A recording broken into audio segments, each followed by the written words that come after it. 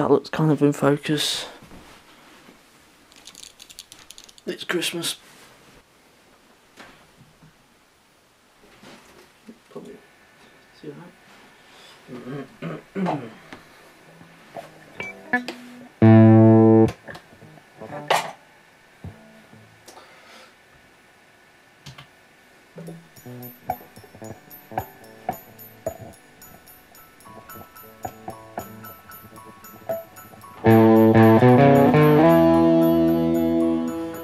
Thank you.